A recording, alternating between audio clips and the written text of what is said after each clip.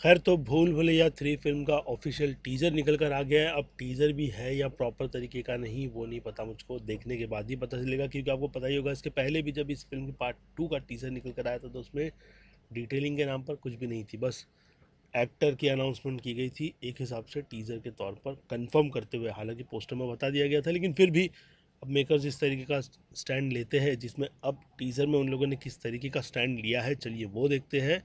क्योंकि film Singham again से टकराने वाली है और अब ईगो क्लैश होने वाला है दिवाली के दिन तो अब उसमें फ़िल्म कहाँ स्टैंड करती है? और बाय द वे आवाज़ बहुत कम रखूँगा क्योंकि विक्की विद्या का वायरल वीडियो वीडियो अपलोड कर, करके मैं थक गया था। भाई, वो अपलोड करने नहीं दे रहे थे कंपनी वाले, लेकिन चलो अब देखते हैं इसकी आवाज़ थोड़ी कम रख कर के अपलोड करने मिलता भी है या नहीं। आवाज़ बहुत माइनर से रखूँगा। बाकी आप देख लेना टीज़र यहाँ पर मैं सिर्फ़ रिएक्शन और रिव्यू दे दूँगा, ख़त्म होने के बाद।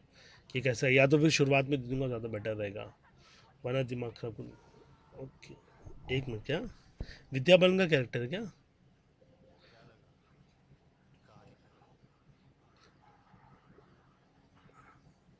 नहीं, अब वापस शुरू हो गई।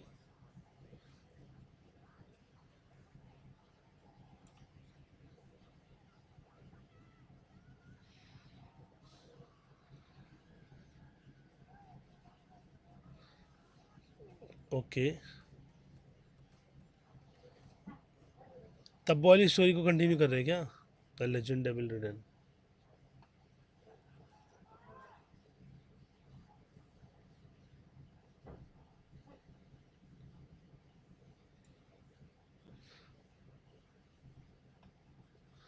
कौन? तब वाला ही भूत है क्या भाई? सब समझा दो। तो दो हीरोइन चेंज कैसे हो गई?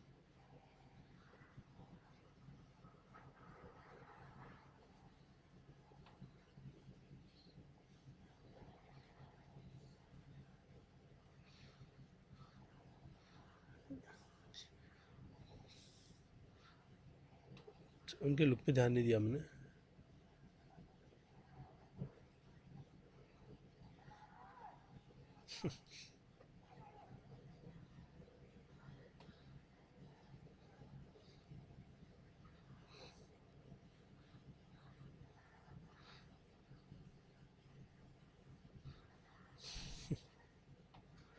बस भाई, एक में मैं उनका लुक नहीं दिखाया मतलब कुछ अलग क्रिएटिविटी में कुछ अलग तो किए होगे तुमने भाई? कहाँ गया?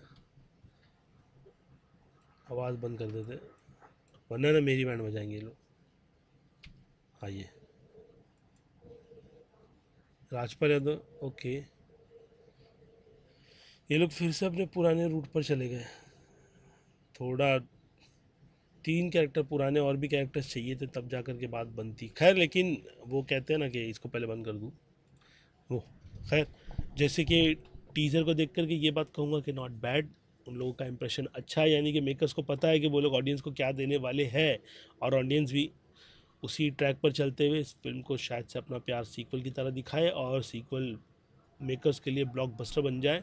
हालाँकि देखा जाए तो मतलब इस कहानी के पॉइंट पर आने के बाद तो मेकर्स को ये बात समझनी चाहिए थी कि अक्षय कुमार कितने ज़्यादा इंपॉर्टेंट है, अगर उनको कहानी कंटिन्यू करनी है तो क्योंकि साउथ में उसी, बोलते ना, उसी चीज़ों को कैश एंड ग्रैप करने के लिए भूल भुलैया फ़िल्म की। फ़ेमस होने के बाद उन लोगों ने कई सारे सीक्वल्स प्रीक्वल जो भी बनाए थे, सबके सब टट्टी थे भाई लिटरली बस एक पहला पार्टी स्टैंड करता था, लेकिन उन सबसे हटकर भूल भुलैया ने अपनी एक अलग लेगेसी बहुत शानदार बनाई थी, जिसके बाद जाकर के कार्तिक आर्यन ने बस नाम के चलते उसे फॉलो किया और लॉकडाउन में लोगों ने नाम के चलते ही फ़िल्म को थिएटर में जाकर के अपना, बोलते ना, प्यार दे दिया और फ़िल्म सरप्राइजिंगली ठीक ठाक से निकल गई मतलब टाइम पास ही बोल सकते हो। अब क्या ये फ़िल्म उसी जॉनर में फिर बैठती है या नहीं, वो फ़िल्म देखने के बाद पता चलेगा। जिस बारे में अब आपकी क्या राय बनती है, वो आप मुझे कमेंट में लिख कर बताइएगा, क्योंकि फ़िलहाल तो रिएक्शन और रिव्यू में बस इतना ही। इसके अलावा मैं हूँ Aziz movie stock show channel like share और सब्सक्राइब भूलना मत भूलूँगा। जल्दी दूसरी किसी वीडियो में टिल देन और एक टेक के साथ बोलूँगा, ख़त्म